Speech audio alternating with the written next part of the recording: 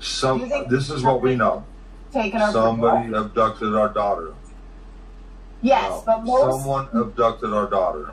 Yes, but most people abduct This for is a the reason. this whether is the fact. money- I know, but most people abduct for a reason, whether it's money or for sex trade or something. There's usually a reason. Right. So I'm just Or, wondering. or for s- that is or, or, for, or for or for personal sexual gratification, Oh, God or forbid. just to kill some little kid. God forbid. yeah, I think they would have found her by now if that was the case. I do. That means she's far would've away from here. It's That means possible. she's far away from here. It's definitely possible. oh, Um, that's probable, not possible. why do you think Candus's mom took off right after she went missing? Was that just coincidence or? Gosh damn, this is the thousandth and ten thousandth time I've answered this question. Oh, you've asked her that too? I've only answered this question. This will be my one thousand uh, eleven hundred ninety nine time I've answered this question. Okay, just so you know, I'm sorry. because she wanted to avoid all these. No, listen, I'm not trying to be mean. It's okay. but you have to understand. I get it. I'm she good. was smart enough to fuck out of here to avoid all these stupid questions. That's why. She went through this shit with her first child. When And Rose that- Marie Blige, come on, listen. We, she went through all this shit with her. She seen this shit coming. She knew what was going to happen. That's why she left. Because she knew she seen all this shit coming. Probably. But she should have stuck it out. I mean, don't. But didn't Candus need her? I mean, that's her mom. Yeah. Right. But her mom ain't never been her for her before, and nothing has changed now. Do you think it's possible that her mom had something to do with the abduction? And that's just a question. No. That's not an accusation.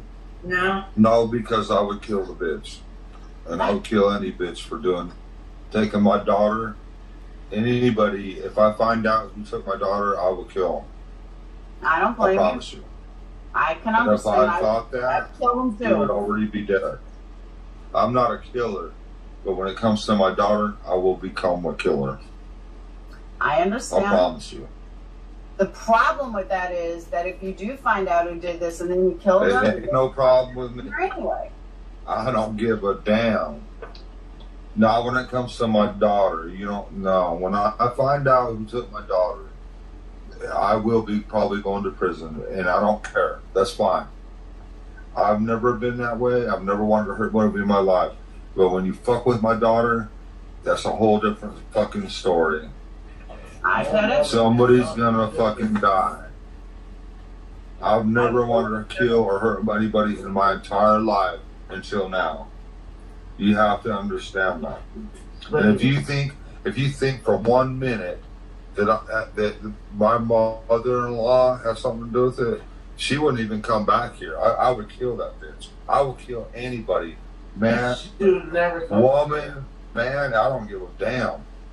Over my daughter, you fucking rice. Her mother. And she's here, and, I, and she's not dead. So what does that tell you? Do you think Rose was abducted? Mm, dumb bitch. Who? You dumb bitch. Who? What? Rose. You talking about this or now? Yes. I mean, I'm just Will you asking. please let me fucking talk? Well, I'm not accusing anyone. I'm now asking. that we're 60. I can't hear because this dumb bitch keeps opening her fucking mouth. What'd you say? Really? Man, please shut the fuck up, man. Do you think it's possible that What'd you Summer's say? Do you think that Summer's disappearance had to do with Rose at all, even though it was so many years different? Uh, you know what? We we don't know that. We have no idea because we don't know what happened to Rose. Therefore, and we don't know what happened to Summer. So there's no way of telling on that one. We don't know. I that's There's no I way know. to tell. And they never got any answers about Rose. No, not not one clue, nothing. The only thing that sh- we know about her is she she was supposed to go to a bar to meet some people, and her car was parked at a gas station, right? As far as I know, I She mean, was supposed to be my cousin at a bar, and she never ended up there. yeah, her car never ended up there. They found her car at a gas station park. That's all we know. and that's that's the last time anybody nobody's seen her. We don't know. There's no way of telling. And that's what makes me lose hope about Summer that we'll never see her. Do they statistics show uh, 99% of all the kids abducted get found. I don't believe that bullshit. No, not ninety nine percent. No. See, can't all right. So No, Rose, I put her- I put her- I put? I, I put them I put I put those statistics on Don Wells on my Facebook on Don Wells. I just don't believe in statistics. It don't make sense. Ninety nine percent of all children abducted get found. I don't think no, so. that's not Why is it fucking over? Why is there three hundred missing kids in Eastern Tennessee? There's and they're starting to say ninety nine percent of them get found. Something ain't right with. I call bullshit on that. But it's on my Facebook. Don Wells on my Facebook. But I don't believe it. I strongly disagree. Why is there 300 missing kids in this area right now and they haven't been found? Something ain't right. Something is not right.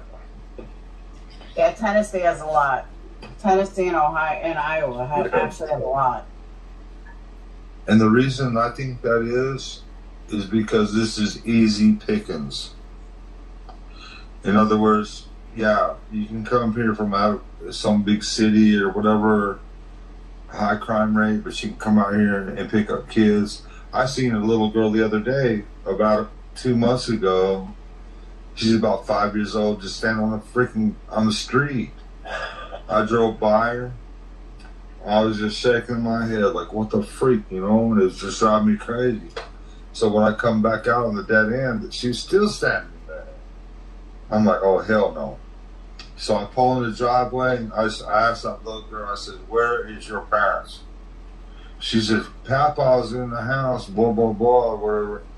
So I go and I knock on the door, and he's like, "Oh, what fuck?" I don't know what he's saying. I knock on the door again, and I just hear some mumbling. So I just opened the door, and I said, "You know, this little girl's out here on the freaking road, standing out here, five-year-old little girl." He's like, blah, blah, blah. I couldn't understand what he was saying. I'm like, man, whatever. And I slammed the door. And I went and got my truck. And I told her, I waved at the little girl. I said, see you later. You know, and I got my truck and I left.